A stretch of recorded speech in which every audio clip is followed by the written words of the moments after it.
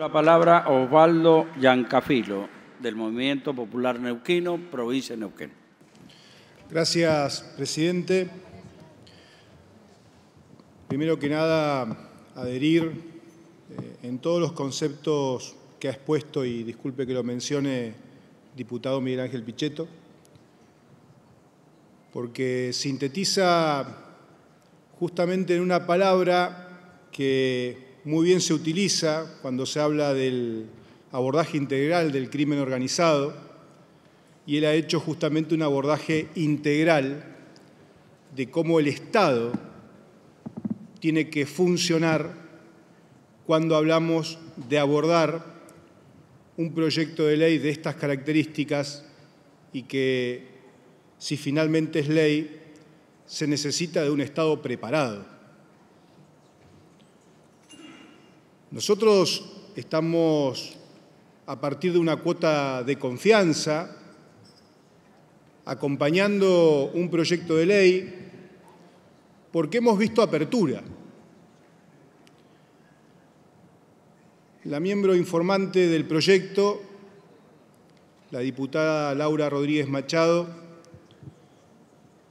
compartió junto a nosotros hace unos días una reunión con el ministro de Seguridad de la provincia de Neuquén, Matías Nicolini, porque si hay algo que nos caracteriza es justamente tratar con aquellos que posteriormente, y aquí quiero mencionar algo que es muy importante y que se ha pasado por alto, presidente.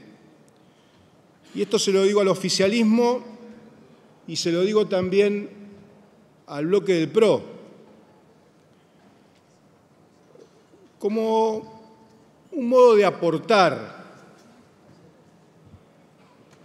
Han pasado por alto la opinión del Consejo Federal de Seguridad Interior,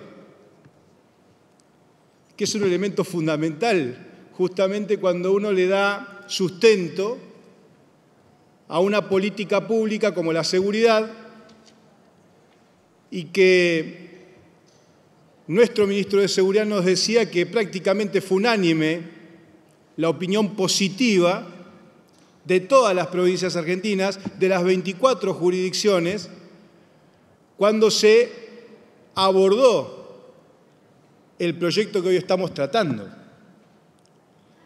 Y esto tiene sentido federal, que es lo que nosotros muchas veces pedimos desde el interior de la Argentina. Hablar de delitos penales como el narcotráfico, como el lavado de activos o la trata de personas Hoy en Neuquén nosotros tenemos una situación muy compleja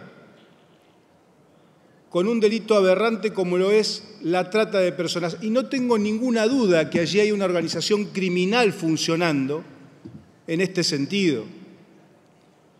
Tenemos el corredor bioceánico, ese corredor bioceánico atraviesa la provincia de Neuquén.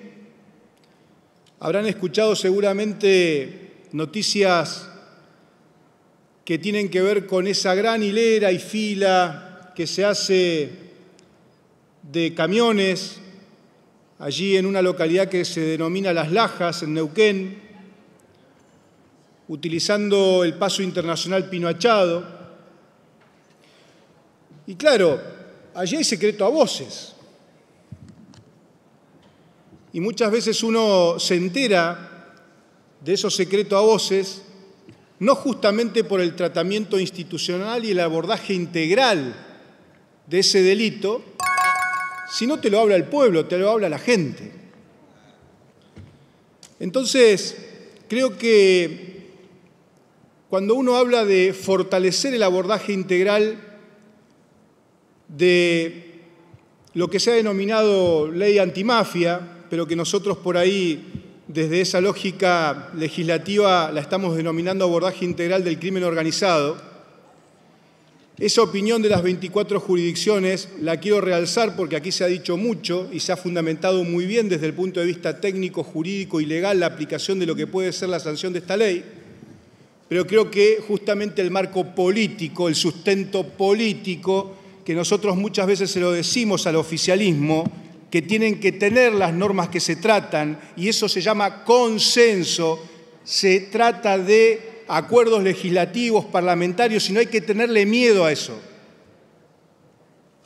Entonces, desde las provincias argentinas venimos a aportar, venimos a acompañar, porque claro que estamos preocupados por la seguridad, en todas sus líneas, en todos sus aspectos.